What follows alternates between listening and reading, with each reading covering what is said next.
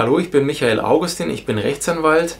Einer meiner Schwerpunkte ist schon immer die, die Gestaltung und der Entwurf von allgemeinen Geschäftsbedingungen, von Verträgen, die Beratung dazu, Prüfung von solchen Verträgen und auch die Verhandlung solcher Verträge.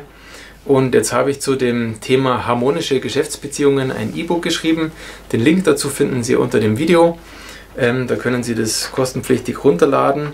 Mir geht es nämlich darum, Ihre Geschäftsbeziehungen zu verbessern und zwar auf harmonische Art und Weise und eben, dass es nicht zu Streit kommt bei den äh, Sachen, die Sie da machen in Ihrem Unternehmen. Ich habe jetzt noch einen Tipp zu Ihrer Kunden- und Lieferantenkartei. Also Sie werden wahrscheinlich irgendeine Art von Datenbank führen, in der Sie Ihre Kunden, Ihre Auftraggeber aufgelistet haben, äh, Ihre Lieferanten, Zuarbeiter, Dienstleister und so weiter. Und da werden Sie aufschreiben, welche, welche Leistungen da beauftragt und äh, geleistet wurden von Ihnen, wie Geld gezahlt wurde und so weiter. Und da würde ich Ihnen eben ein paar Tipps geben, was Sie dann noch in dieser Datei oder wie auch immer Datenbank festhalten können. Ja. Nämlich zum einen zum Beispiel, dass Sie sagen, dass Sie da festhalten, worauf legt der Vertragspartner besonderen Wert. Ja? Dass Sie das da einfach mal aufschreiben.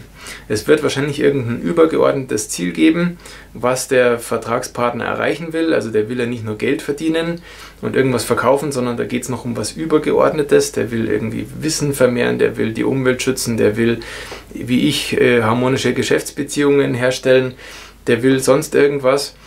Und das schreiben Sie da einfach mal rein. Und dann hat der vielleicht der konkrete Vertragspartner, Ihr Ansprechpartner, noch eigene besondere Schwerpunkte, die er innerhalb dieses übergeordneten Ziels verfolgt. Vielleicht hat er auch noch andere Sachen, auf die er besonders Wert legt, dass Sie pünktlich sind, dass, dass Sie ehrlich sind, was weiß ich was. Ja.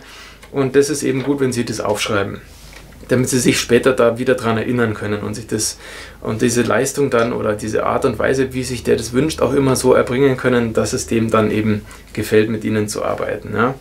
Weiter ist meine Idee, dass sie diese Datenbank um weitere persönliche Merkmale erweitern, also zum Beispiel, welche Hobbys hat der Vertragspartner, welche Interessen verfolgt er sonst, welchen familiären Hintergrund hat er, wann hat er Geburtstag und so weiter. Dass sie solche Sachen auch noch aufschreiben, wo macht er gerne Urlaub. Das ist jetzt natürlich vielleicht datenschutzrechtlich ein bisschen äh, zweifelhaft, dass man, das kann man jetzt nicht ohne weiteres so machen. Ja. Da müssen Sie dann aufpassen, dass die Datenschutzerklärung entsprechend gestaltet ist. Oder Sie, Sie trennen diese Aufzeichnung vom Geschäftsbetrieb und führen dann noch einfach eine private Aufzeichnung über das Ganze. Und dann sind Sie da wieder aus diesem DSGVO-Anwendungsbereich draußen. Wichtig ist es, dass wir eine, eine, langfristige und freundschaftliche Beziehung zu unseren Geschäftspartnern aufbauen. Je mehr Kontakte sie haben, umso schwerer wird es, dass man sich diese ganzen Einzelheiten merkt. Ja, da, da wird, bringt man dann was durcheinander, man vergisst man hat vielleicht nicht ständig mit den Leuten zu tun, sondern das auch vielleicht mal eine Zeit dazwischen, innerhalb der man das dann halt wieder vergisst.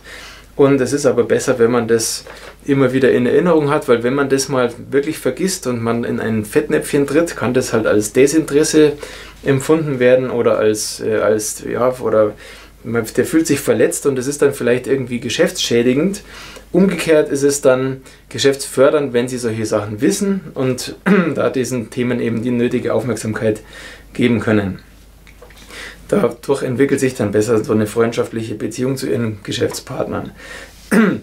Ich empfehle solche Notizen gleich von Anfang an zu führen. Sie denken vielleicht am Anfang, ja, bei meinen drei Kunden, da kann ich mir das ja merken oder das sind sowieso meine Freunde, aber das soll ja wachsen, Ihr Unternehmen und eben auf gute Art und Weise, dann würde ich raten, fangen Sie gleich an, da so, so, eine, so Notizen zu führen und das festzuhalten, damit auch von neuen Kunden Sie sich das dann gleich merken und dass sich das dann ebenso positiv weiterentwickelt. Ziel muss es sein, dass Sie von, von Ihren Top-Performern, also von Ihren Hauptkunden, von Ihren Hauptdienstleistern, Lieferanten und so weiter, immer auch äh, nachts um drei wissen, wenn man sie weckt, dass sie dann sofort diese ganzen Informationen parat haben. Und deshalb ist es wahrscheinlich gut, wenn man diese, diese Notizen, die sie da führen, auch regelmäßig wiederholen. Also dass sie das immer wieder durchlesen, gelegentlich einmal in der Woche, einmal im Monat, wie oft auch immer, je nachdem wie umfangreich das ist und dass sie da eben dann sich die Sachen besser merken können. So, ich werde auf dem Kanal jetzt noch weitere Videos posten zum Thema harmonische Geschäftsbeziehungen und auch AGB und Verträge. Ich freue mich, wenn Sie den Kanal abonnieren und das Video liken. Wenn Sie Fragen oder Anmerkungen haben, schreiben Sie es gerne unten in die Kommentare.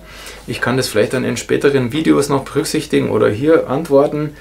Ähm, schauen Sie in die Videos rein, vielleicht kennen Sie ein Thema schon, dann ist vielleicht trotzdem noch was Neues von mir dabei oder Sie schauen eben in die Videos, wo Sie das Gefühl haben, das ist vielleicht noch was Neues oder Interessantes. Und das komprimierte Wissen dazu finden Sie in dem E-Book, wozu Sie den Link unter dem Video finden. Ja? Ich wünsche Ihnen alles Gute und dann bis bald.